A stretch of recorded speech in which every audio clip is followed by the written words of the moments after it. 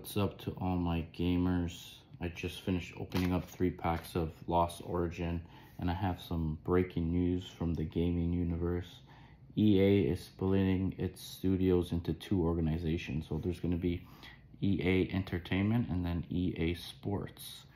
And I'm going to read you a statement from the company. This evolution of our company continues to empower our studio leaders with more creative ownership and financial accountability to make faster and more insightful decisions.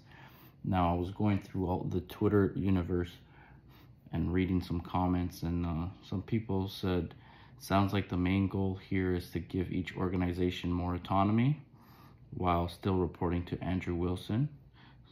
Some say it seems like the goal of the structural change is to get things done smoother, more quickly, or maybe to divest one part easier, which is interesting.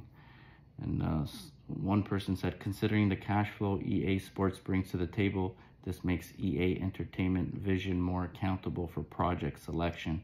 Probably leads to more tent-pole IP games. So what do you guys think about that? It seems like um, Gogeta is splitting up and becoming Goku and Vegeta. Or maybe the two parts are not as equal as we think. So maybe one part is doing more heavy lifting. Well, you guys tell me what you think in the comments section. And uh, don't forget to like, subscribe, share, hit the notification button. Thank you very much. Take care.